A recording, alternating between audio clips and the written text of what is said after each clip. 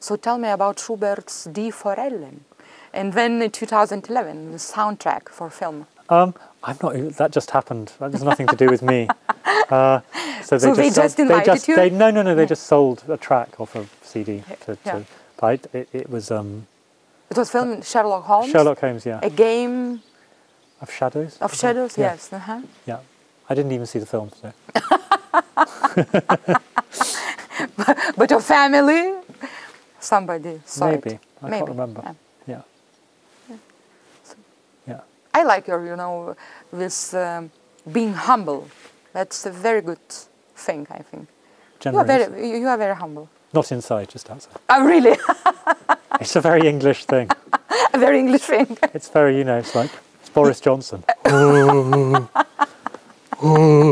like this.